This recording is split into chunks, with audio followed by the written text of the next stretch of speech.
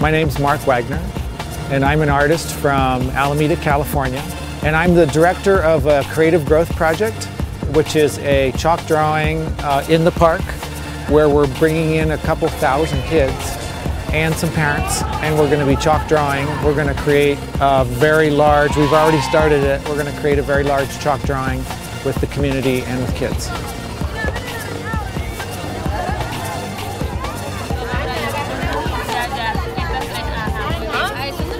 I started doing chalk drawings at my kids' schools because there's no art teachers in the elementary schools in California where I live.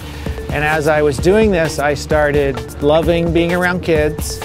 And then I had an idea back in uh, 2003. So I was using the software where you get on satellites and I zoomed all the way down to my kids' playground and I saw one of their chalk drawings that we had done. And that gave me an idea. And all those ideas came together to then do a project that we completed last year in, in California where we set the Guinness World Book of Records for the largest chalk drawing in the world, which shows up into 8,300 square meters. And we had 6,000 people and 4,000 of them were elementary school kids.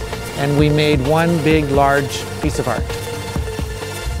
Then I was wondering what's next and the idea came to actually then travel around the world and create large community chalk drawings with kids and community and um, then do those around the world and create one story which and so here in Venezuela is the first project.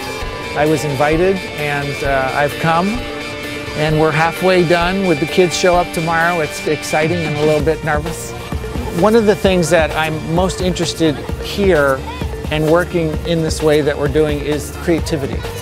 And there's something about creativity investing into children when they're young so that they grow up and be creative people. And what I know about creativity as an artist is that we, we are creative in everything. I see parents and adults who have kind of lost the connection to their inner child or that, that part of them that used to be creative that never had an issue with being creative. And so one of the things that I've really been excited about is the relationship between parents and kids because I can see that kids love being creative with their parents. And what I see is the parents, they kind of wake up. There's something about them and they go like, oh wow, I remember how fun this used to be.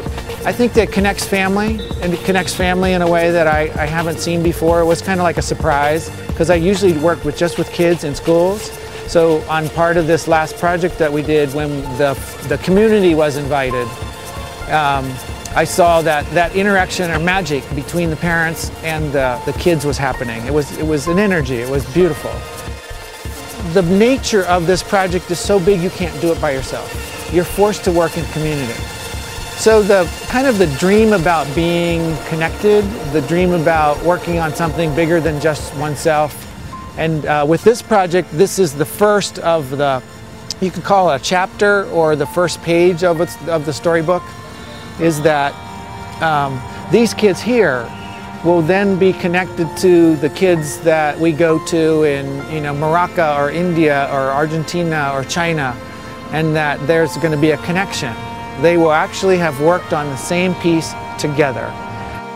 The story hasn't been told yet, so the people, the community, the, the, the project will tell the story.